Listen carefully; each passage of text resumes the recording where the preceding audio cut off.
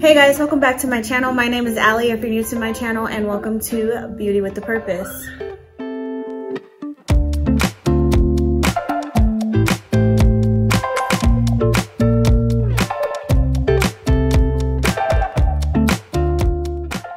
So if you are new to my channel, my name is Allie. I upload three videos, I upload four videos a week, beauty, Bible, and lifestyle.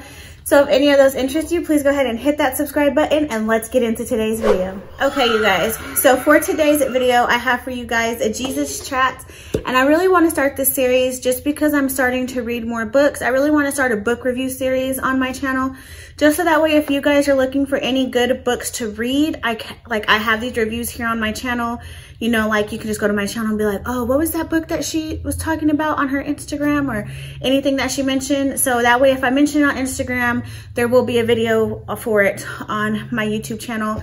And I'm just starting it today. I will also do a review on previous books that I've read. Just got to go ahead and round them all up because one of the books is not actual in physical form. It was, um, like for the Kindle. So yeah, so anyways, today's book that we're going to be reading is Holy Hustle. So, Holy Hustle, I will just go ahead and so I'll just read everything on the front and then everything on the back.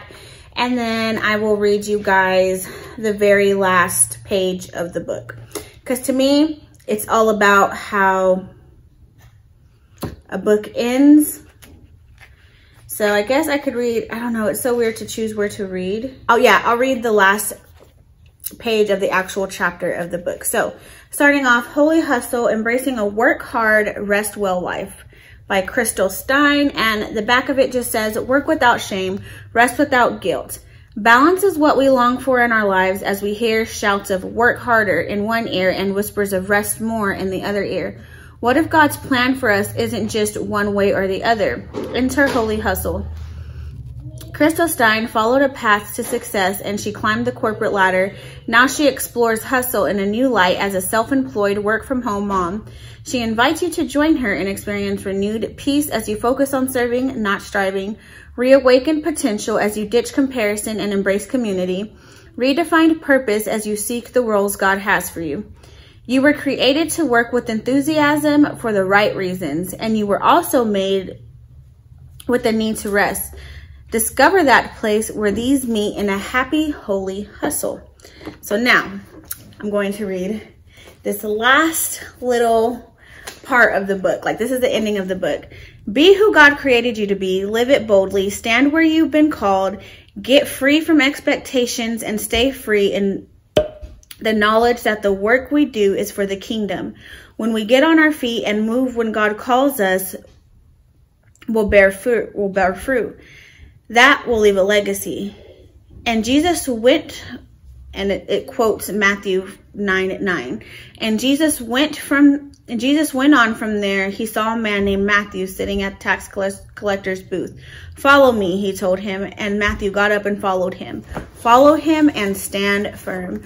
So I love this book because if you are someone who follows God, you can read a lot of books that are literally just even by pastors or just kind of self-help books and they kind of throw God in there like they kind of just like sprinkle him in there. Well, in this book, God isn't the seasoning, he's the meat. Do you get what I'm saying? So like in this book, God's the meat and her life and what she's teaching you is what's the seasoning. If that makes any sense of what I'm trying to say. In my mind, it's making sense. Let me know if it made sense. But I like how God-centered this book is. So in this book, obviously you have where the chapters start and throughout the chapters, she will ask questions. She will let you know whenever it's time to start, um, to get out your book or whatever they like to get out your notebook to take notes or whatever they she will let you know when it's time to like get out your notebook and take notes because she will ask questions. For instance in the first chapter i highlighted around the questions that she asked and then i wrote it down in my notebook. So after that she will take you deeper like okay this is the scripture that i based x y and z chapter on. And so go read this entire chapter in the bible after you've read the chapter in the book. And then after that she has, she goes, she does a review over the chapter of the Bible that you read and then she asks more questions. So then you reflect on it. So she has the chapter that she wrote herself and then she has what she calls digging deeper, which is going into the scripture. And then she has a reflection. Now let's sit down and take the time and absorb and write down everything that she read out of not only my chapter that helped you, but now out of the scripture and what God was trying to tell you through the scripture. So that is like the main thing that I really love about this book. And if you're wondering, so now we'll just say like, well, who is this book made for? Because I'm just a stay at home. Like you may be thinking to yourself, oh, all I do is stay home. I'm just a stay at home wife. Maybe you're a stay at home wife and you don't have kids.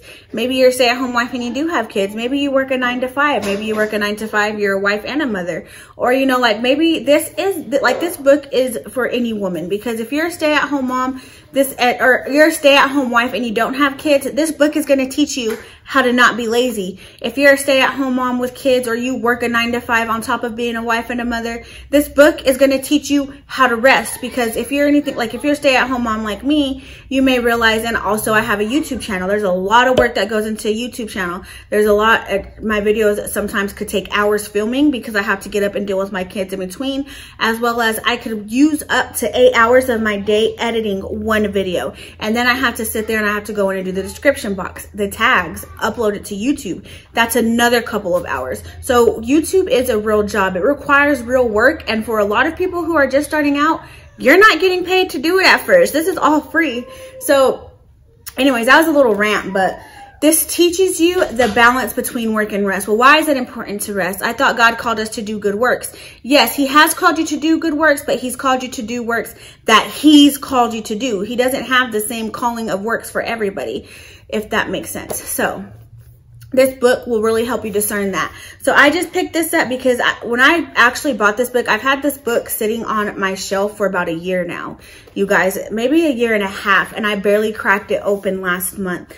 And I, when I originally got this book, I got it because I was like, okay, I want to get serious about YouTube. I know YouTube requires a lot of work, but how do I work the way that God calls me to work? So I had this book, I bought this book, and it sat there on the shelf for the longest time, and then when Ethan started school, I felt myself, like the week before he started school, like I could just feel myself getting really overwhelmed. I could feel myself pulling away from God because like I just felt like I didn't have time and I was busy. So I was like, you know what? I'm going to start reading books as my nighttime devotional because I have my morning time devotional already. But then that means that I go 12 hours without maybe I might pray in the middle of the day when somebody asks for a prayer, but now I'm to a point to where like I can pray all day throughout the day and then I have something to look forward to before bed, which is reading a book. Like I said, I finished this one Now I really recommend if you guys to get this book if you struggle with knowing when to say no and when to say yes and if you struggle with knowing when it's time to rest and when it's time to work like i you have to put up boundaries um, especially if you're a stay-at-home mom or you work from home, like you have to have those boundaries. And this book is really going to help you with that um, and help you work and rest in a godly way, not just not work the way the world calls you to work, like, oh, hustle, oh, you're a boss bee, you never stop. Well, no, God hasn't called me to work like that. Like I need to stop sometimes and I need to work where he's called me to work, how he's called me to work.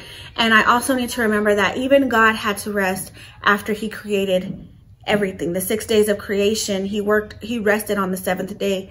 Rest will look, and that, that's one thing I like that she points out in here, like your work won't look like everybody's, your rest won't look like everybody else's, but you need to find what's rest for you and know how to draw the line from overworking, which in this word she calls it as striving, and then where you're just not being lazy. So this is a really good book, you guys. So this is my little review of the book if you've seen it or you were thinking about picking it up.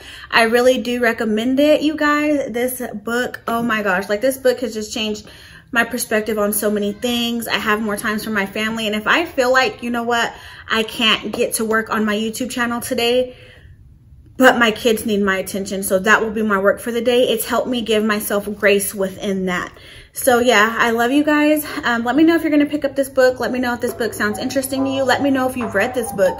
So yeah, you guys, if you have any more video suggestions, please leave that in the comment box below. If excuse me, if you haven't already, please go ahead and give me a thumbs up. Also hit that subscribe button and I will see you guys in my next video. Bye. Mwah.